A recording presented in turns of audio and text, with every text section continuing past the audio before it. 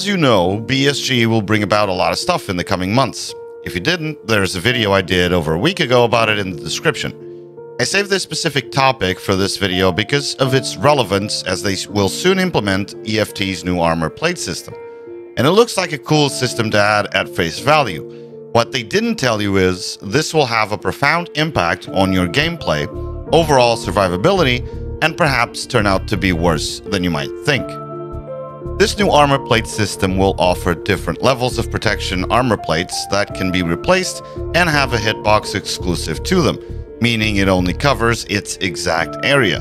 In essence, they're creating an additional hitbox. These areas around the plate will be less protected, either by soft armor embedded in the plate carrier or not protected at all.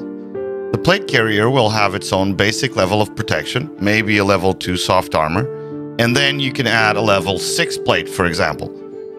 This will open up the areas that were protected before around the plate, the sides of the torso and stomach, for example, shoulders, even frontally around the plate, and make even the best armors a lot more vulnerable.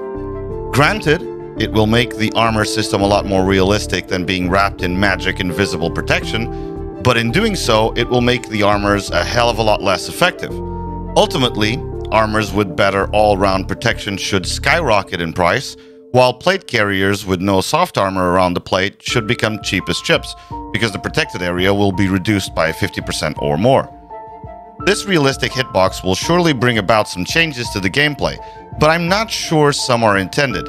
Overall, I identify four general groups of players, so let's talk a little bit about how each is going to be affected by this. For the hyper-aggressive Chad, he now has another motivation to push aggressively and get the first shot off first, even in full level 6 plate armor. The gaps would allow something as bad as 545 PP to kill him in a few shots around the plate. Now, knowing his armor no longer covers 100% of his thorax and or stomach, he needs to kill the enemy even faster as not to allow shots to be fired at him. Remember, overall, armor protection will be significantly smaller than before, so allowing your opponent to take any shot at you is even riskier.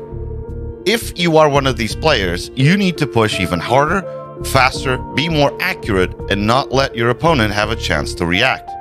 In my opinion, these players are second and the most affected by this system and will find it very hard to take, dying a bit more often because of the less protection their armors will offer. While sometimes you could trace dying to something you did or didn't do, now it could just be a few pellets to the side of your level 6 semi-protected thorax. As for the rats, well, they're laughing all the way to the extract. The evil W Keyer is now more fragile and easily killed. No longer shall he wait extra time for that perfect shot when he can kill you faster and with worse ammo. The opening of more holes where he can place his shots with low-cost ammo and scoop up all your loot should make rats return in flocks to EFT the chance to put down higher geared players with extra ease should leave them salivating for the update. I think I have never heard of a game system more beneficial to a rat playstyle ever in any game. Nothing changes except your enemy's armor is now smaller than before and you have more areas you can two-tap him on.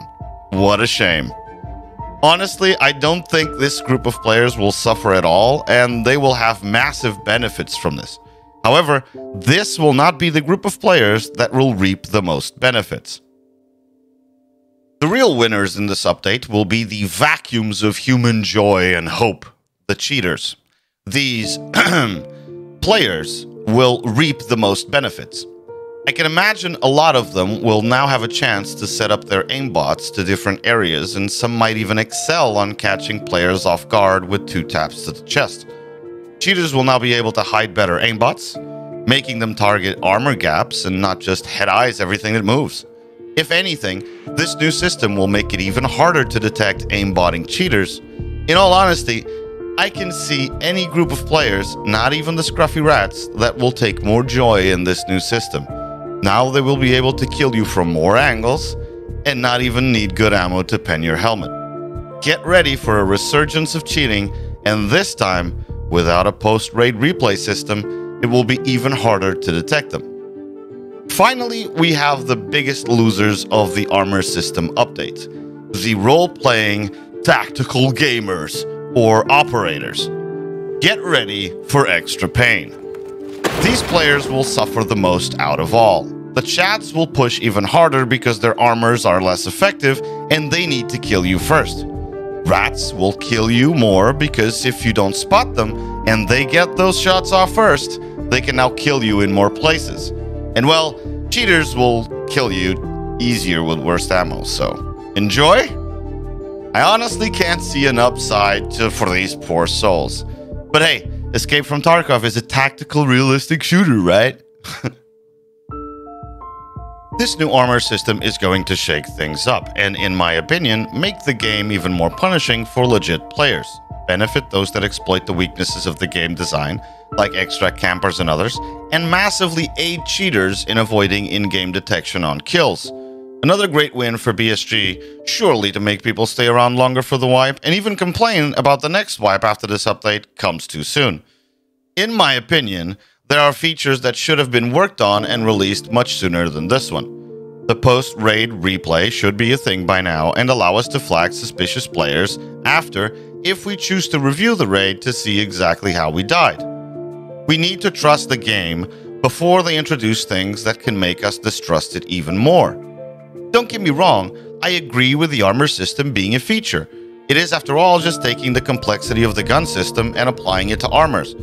But doing this before getting rid of cheaters, reducing desync dramatically, getting the audio working properly, or even introducing other systems such as the post-raid replay system, or actually balancing out progression, it just feels wrong place, wrong time.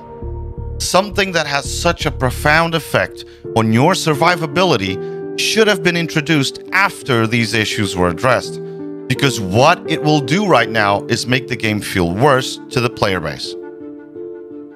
Look, maybe I'm wrong, and by the time this releases, all those other issues are fixed, and maybe they will give us a post-raid replay system as a surprise in the patch with a new armor system, and let us report on suspicious players to help cull the cheaters.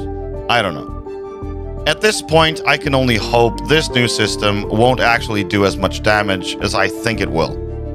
After all, an armor plate system mod has already been available for SPT for months now, and it's fine, but then again, that is single player only, so. Uh, what are your thoughts on this? Do you share my concerns about this new armor system, or do you see a general upside I do not? Let me know in the comments, just please be respectful. Leave a like, subscribe. Thanks for watching. Have a great day.